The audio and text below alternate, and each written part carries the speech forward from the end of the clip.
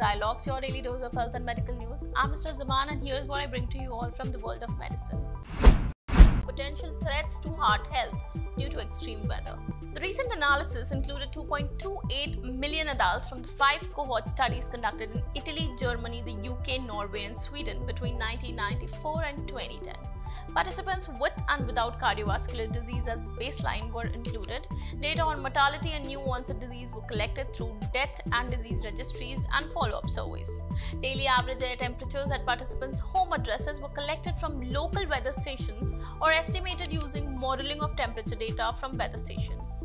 The analysis found increased risks of death from cardiovascular disease overall ischemic heart disease in particular, as well as an elevated risk of new onset ischemic heart disease associated with cold weather, with an approximately 10 degrees Celsius temperature drop from 5 degrees Celsius to minus 5 degrees Celsius. There was a 19% greater risk of death from cardiovascular disease. There was a 4% higher risk of new onset ischemic heart disease associated with an approximately 11 degrees Celsius temperature drop from 2 degrees Celsius to minus 9 degrees Celsius. The heat was not related to detrimental effects on the overall study population. However, the temperature rises from 15 degrees Celsius to 24 degrees Celsius were associated with 25% and 30% elevated risk of death from cardiovascular disease and stroke, respectively, in people with heart disease at baseline worsened impact of heart attacks among heavy smokers. The risk of death or poor prognosis after a heart attack is more than 20 fold higher in smokers with exhaled carbon monoxide levels above 13 ppm, indicating heavy smoking and inhalation of smoke. That's the finding of late breaking research presented at ESC Congress 2022.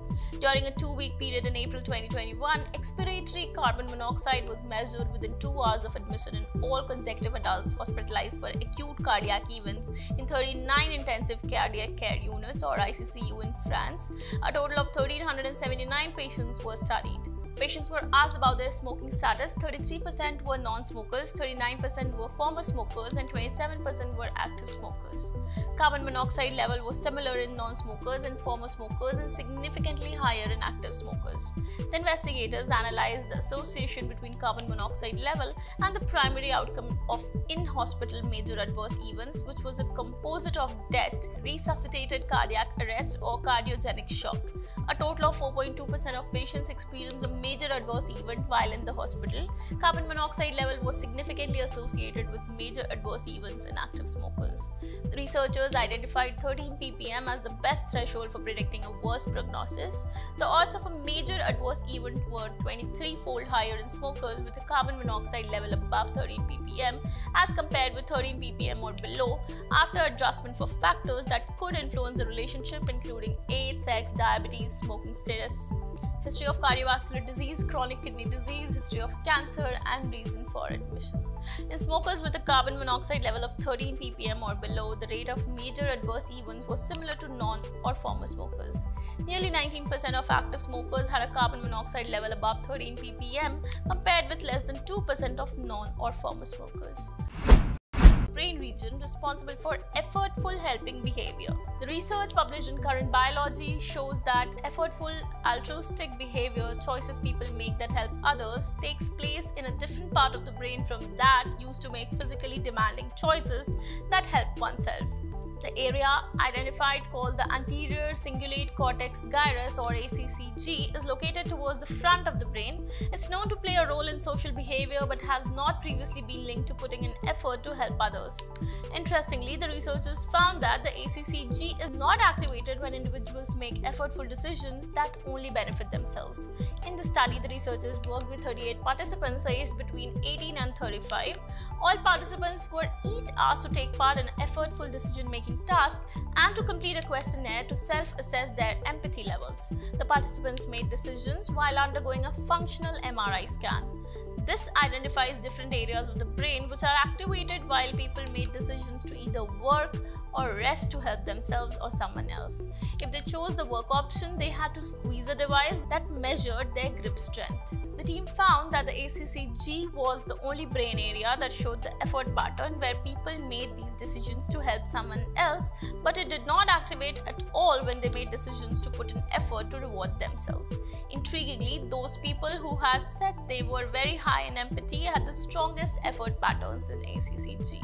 Researchers also found that those people who represented effort most strongly in the ACCG also went on to put in more grip strength to help out how maternal fat metabolism very early in pregnancy and fetal abdominal growth affect child weight and adiposity by 2 years of age.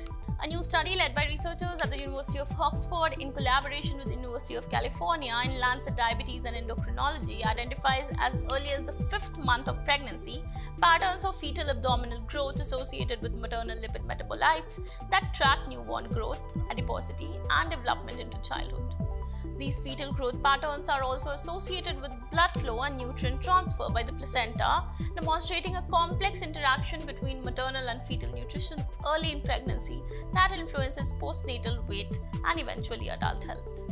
The researchers monitored the growth inside the womb of over 3,500 babies in six countries using serial fetal ultrasound scans throughout pregnancy and analyzed blood samples taken from the women early in pregnancy and from the umbilical cord at birth. They then monitored the growth and development of the infants until two years of age. Stephen Kennedy, who co led the study, said, this landmark study has provided valuable new insights into the biological origins of childhood obesity, which is one of the most pressing public health issues facing governments around the world. The findings could contribute to earlier identification of infants at the risk of obesity. That's all for today. Stay tuned to Medical Dialogues for latest updates. Never miss a medical update from Medical Dialogues. Like, subscribe, and press the bell icon.